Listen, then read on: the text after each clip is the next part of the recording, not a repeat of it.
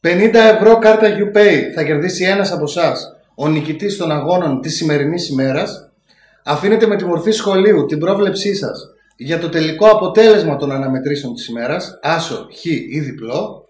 Κάνετε share το βίντεο στο facebook και like στη σελίδα μας στο facebook.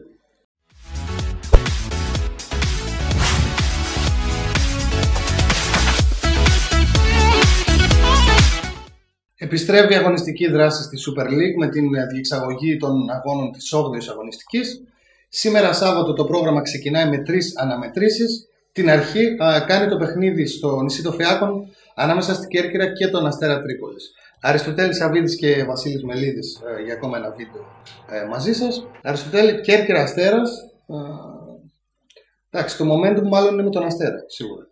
Ναι, γεια σου Βασίλη. Ε, σίγουρα το momentum είναι με τον Αστέρα γιατί έρχεται από την ε, πρώτη νίκη της σεζόν, τους πρώτους του πόντους για την ακρίβεια. Στο 2-0 εντός έδρας με τον Πλατανιά, μια αγχωτική επικράτηση, μια νευρική εμφάνιση με διαιτητικά σφάλματα εις βάρος του Πλατανιά, δικαιολογημένα παράπονα εκφράστηκαν εκεί από τους κριτικούς.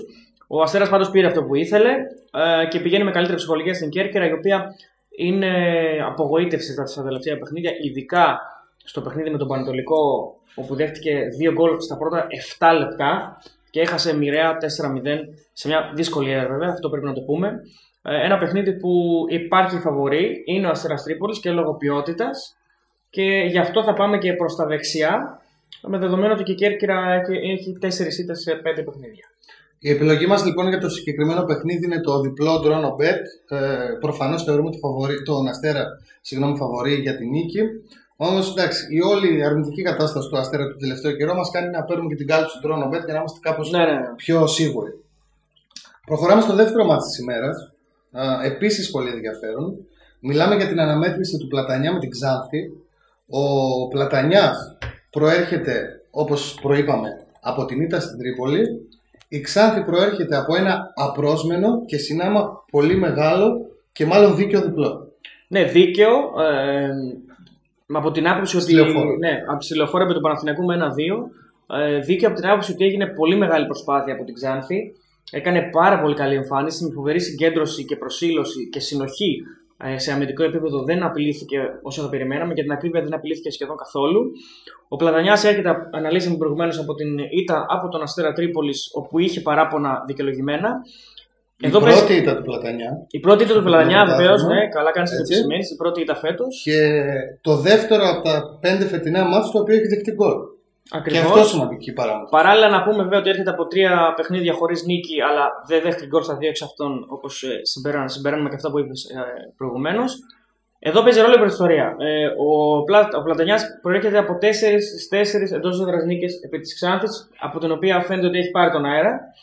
Και, και έχει κερδίσει και εκτός. Και έχει κερδίσει και εκτός. Έχει κερδίσει τα, τα 6 από τα 8 παιχνίδια κόντρα στους Θρακιώτες. Οπότε θα πάμε με τον, με τον Άσο. Θα πάμε με τον Άσο λοιπόν στο συγκεκριμένο παιχνίδι και κλείνουμε ΑΕΚ Πανιόνιος. κοινό στοιχείο των δύο ομάδων, των δύο συλλόγων η προσφυγική καταγωγή, αν θέλουμε να κάνουμε έτσι ένα γενικότερο background του αγώνα. Μία άκρη η οποία προέρχεται από το διπλό στη Λάρισα το οποίο όμως συνοδεύτηκε από την ε, αποπομπή του Τιμούρ και Τσπάγια. Ε, ο Πανιώνης έχασε από τον Ολυμπιακό ε, και στη συνέχεια έβγαλε ανακοίνωση κατά της διαιτησία. Λοιπόν, να ξεκινήσουμε από την ΑΕΚ, να πούμε ότι φυσικά ότι θα κάνει ντεμπούτο ο Ζωζέ Μωράης στον πάγκο της ο Κετσπάγια είναι παρελθόν. Ε, όλα τα παιχνίδια που έχουμε δει μέχρι στιγμής από την ΑΕΚ νομίζω ότι είναι, πρέπει να τα αφήσουμε πίσω μας. Λογικά θα δούμε κάτι εντελώς διαφορετικό από εδώ και στο εξής. Ναι. Μια πιο επιθετική ομάδα. Ε, από το παιχνίδι με τη Λάρισα η ΑΕΚ κρατάει μόνο τη νίκη και τους βαθμούς, τίποτα άλλο. Η εμφάνιση δεν ήταν κάτι φοβερό. Ε, αντιμετώπισε πάρα πολλά προβλήματα διαχείρισης και του, του ελέγχου και του ρυθμού. Ε, ο Πανιόνιος ε, στον αντίποδα ήταν αρκετά καλός με τον Ολυμπιακό. Από δύο στιμένε φάσεις έχασε. Υπήρξαν και διαιτητικά σφάλματα σαφώς εις βάρος του. Ε, δικαιολογημένα και εκεί τα παράπονα για την διαιτησία. Εδώ μιλάμε για δύο ομάδες που είναι επιθετικές. Δύο ομάδες που θα παίξουν για να κερδίσουν. Ο Πανιόνιος το έχει αποδείξει αυτό ότι πηγαίνει σε όλα τα γήπεδα για να κερδίσει. Και η λογική επιλογή είναι το over. Ναι, έτσι λοιπόν. Η παράδοση είναι σαφώς με το μέρος της ΑΕΚ.